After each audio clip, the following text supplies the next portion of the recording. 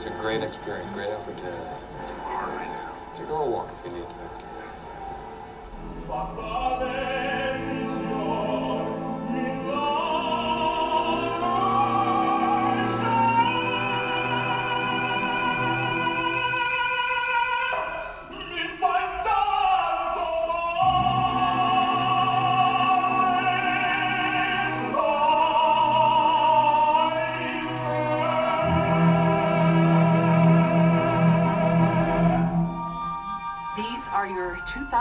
2007 finalists. Oh my gosh, you're going to the Met. Oh my gosh, you're doing national council auditions. The mental focus to prepare for this, it can derail a singer. The thing that's so important about this competition is that it is the way these young talents get recognized. It's the first step in building a major career. I need to stay healthy. I need to be completely rested. So last night I took three sleeping pills. Ah, Mes Amigos, famous for nine high C's. I've dreamed about performing it. These are right on every time. Most of the time. said to my parents, I'm gonna give it 100%. And if nothing comes of it, then hey, go back, get my doctorate, start something else. They're wanting to get away from hiring people who have some sort of a weight issue, which affects me. Being smaller has its issues. I don't have the lung capacity that your more stereotypical opera singer has. My C is not great. I will not claim it to be great at all. I've never sung this to arias as bad as I just did. I've never sung at that point. Relax your nerves, close your eyes, and you sing. Competitors, even though they've all been so kind, How are you feeling? Do you look and walk, please? they're still your competitors. This is a competition. Everyone wants to win. They're going to play the game however they need to play the game. This is the most nerve-wracking part. They were really, really good singers. I just feel like I'm really ahead. You're not. Maybe it's like a slam dunk. Maybe.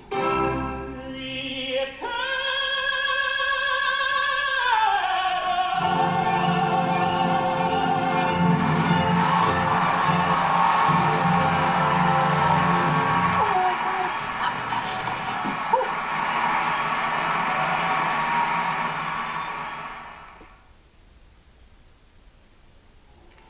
with Lisette Oropesa, who plays appropriately Lisette, and Marius Brenciu or Prunier.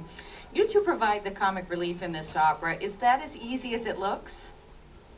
Uh, I don't know if what's her opinion, but I'm hungry about comic roles because in the repertoire, the tenor repertoire normally, which I do, like Rodolfo or uh, uh, Bonnier or others, you have no comic things. So except Elisir, perhaps.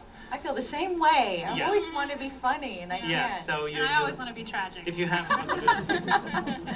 Yeah, this is a straight curly hair problem, right? yeah, you really take- Um, and, and you know, it, what's interesting about your character is that you start Magda off with this song about Doretta, and then you read her poem and tell her that she's a swallow.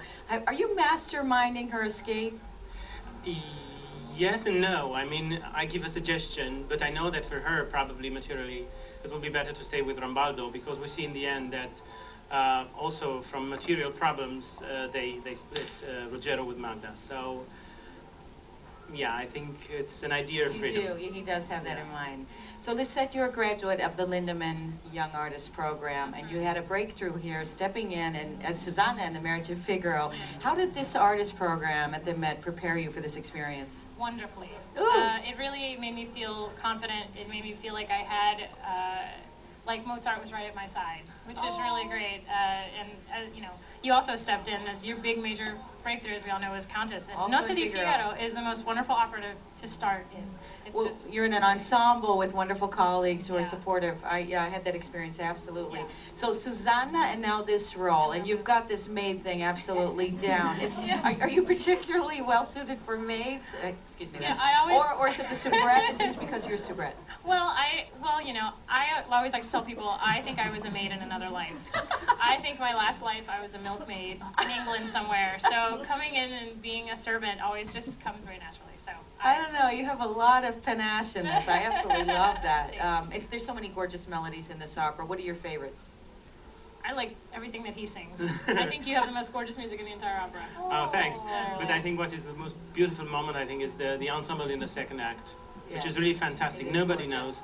And everybody comes, starts to sing one, it's one idea which gets everybody in the chorus, all the soloists, orchestra. It's really and beautiful. at, always at the end, the public is really crazy about this Yeah. piece. Don't you love the ones that sounds beautiful, but that's so difficult to sing, and this quartet for sure. Yeah, not Yeah. all. Very hard to So students are watching this HD presentation. Uh, do you remember your first operatic experience? Can you tell us what that might have been? Wow. Mine, my mother was a singer, so mine was oh, all my life. too. I remember being, th- yes, me too. Yeah. I remember being three and listening to my mom practicing Sempre Libera. My mom sang Traviata, and so it's been in my family as long as I can Born to sing. Born to sing. And yeah, how about you? Have you always sung Um, too? Well, yes, yes, I did sing from when I was a child. But um, I remember a colleague of mine in school, I was about 10, 12 or something, he brought me to see uh, Fledermaus Oh, in my native town. And since then, till I, I went to the university, I never lost one performance in my native town. So I saw every everything, wow. opera you or got the operetta. bug, 10 years old. I mean, That's yeah, I got so in love with the human Oh. voice and with the show that, that I couldn't lose any. That's so beautiful. This is your Met debut also. Yes. Is your fellow landsman, has Angela Gheorghiu and another Romanian helped you in any way? Have you felt her support?